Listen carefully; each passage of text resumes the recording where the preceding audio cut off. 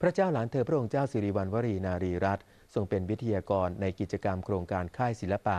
Art for All ปีที่ 12 วันนี้เวลา 10นาฬิกา5นาที พระเจ้าหลานเธอพระองค์เจ้าสิริวัณณวรีนารีรัตน์เสด็จไปยังอารายานาภูพิมานรีสอร์ทแอนด์สปาอำเภอปากช่อง จังหวัดนครราชสีมา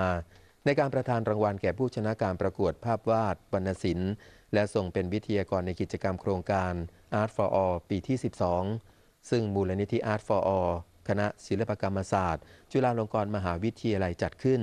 โดยการสนับสนุนของ s c a p องค์การสหประชาชาติ และกระทรวงวัฒนธรรมจัดขึ้น เพื่อเฉลิมฉลองครบรอบ 25 ปี การสถาปนาคณะศิลปกรรมศาสตร์ จุฬาลงกรณ์มหาวิทยาลัย รวมทั้งการใช้ศิลปะเป็นเครื่องกล่อมเกลาจิตใจ ปลูกฝัง และส่งเสริมคุณธรรม ผ่านกระบวนการเรียนรู้ ร่วมกันอย่างเอื้ออาทร ระหว่างคนพิการกับคนปกติ โดยการรวมบุคคลที่มีความพิการแตกต่างกัน เช่น ผู้พิการทางสายตาทำหน้าที่เป็นปากเป็นหู ผู้พิการทางหูทำหน้าที่เป็นตา ผู้พิการขาขาดและแขนขาดเป็นปัญญา และผู้พิการทางสติปัญญาเป็นร่างกาย ผ่านการประสานงานของคนปกติที่มีจิตเมตตา ส่งผลให้ทั้ง 5 คน รวมเป็นหนึ่งอัจฉริยะ หรือการเติมเต็มซึ่งกันและกัน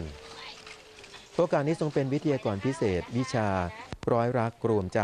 ให้กับกลุ่มเยาวชนที่เข้าร่วมกิจกรรม